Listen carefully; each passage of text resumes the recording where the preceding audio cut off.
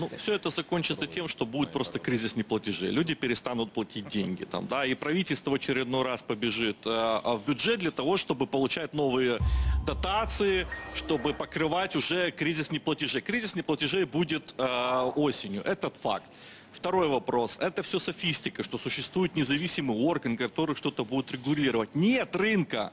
Нету рынка. Рынок это когда покупается на бирже, есть импортеры, которые продают, нафтогаз на бирже внутренний хотя бы покупает. Мы понимаем, какая цена, когда потребитель имеет выбор, а так у нас есть монополист, кстати, государственный монополист, извините меня.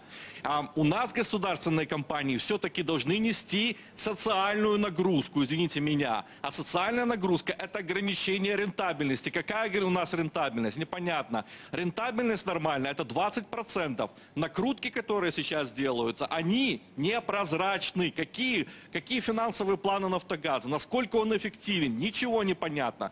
Никакая это не борьба с коррупцией, это централизация Тарас, а коррупционных Закончи, потоков. пожалуйста, другую мысль. Кризис неплатежа – это хорошо, но в гости к этим людям придут частные коллекторы, которые служба уже, службы уже создаются, да? Люди куда выйдут?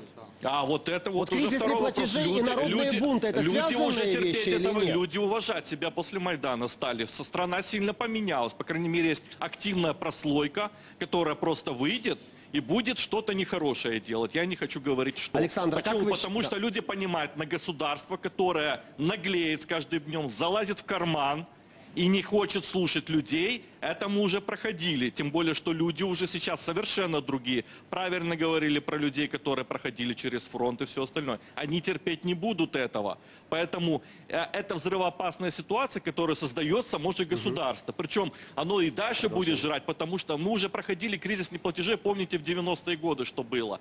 Были вексельные расчеты постоянные, постоянные отключения электричества, потому что не будут люди платить, они просто не выдержат этого, не будут они Ну, не платить потому, что такие не хотят, а деньги.